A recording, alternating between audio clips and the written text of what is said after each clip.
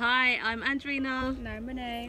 We are from the My Birthday Box initiative to help struggling families celebrate their children's birthdays during this coronavirus pandemic. Today is Monday, the 22nd of June, and we are here on the Wilton Estate to deliver 10 birthday boxes to the Children with Voices Food Hub.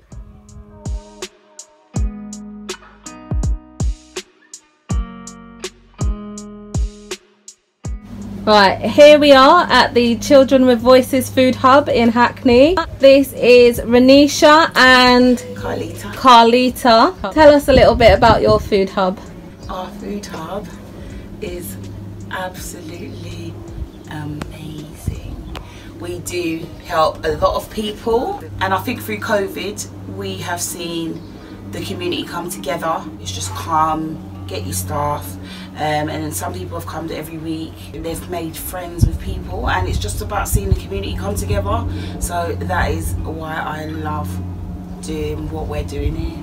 This period of time that we've all been experiencing has been difficult for so many people, and it's just so wonderful to see that there are so many provisions that, who are actively providing for the community. Yeah, we believe the the teamwork makes the dream work. We've made friends from being in different areas in the community, so it's it's been really nice. And the children's faces are just amazing mm-hmm. when they see these boxes and they get them. You know, so it's an amazing thing that you guys done as well. We want to say a big thank you to my birthday box. Thank you so much. You're welcome. You're very welcome.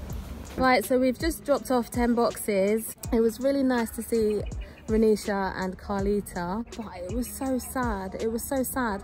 Two weeks ago when we came here, it was peaceful and calm. And today, you know, we've been met with a bunch of flowers, like bunches of flowers and pictures of this young boy who, or young man who has lost his life.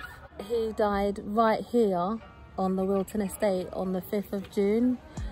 It's just so sad. So not only are communities having to deal with the crisis around COVID and lack of food and resources, they're also having to deal with things that have been going on already. So my heart feels heavy right now today. Just, yeah, feels really heavy.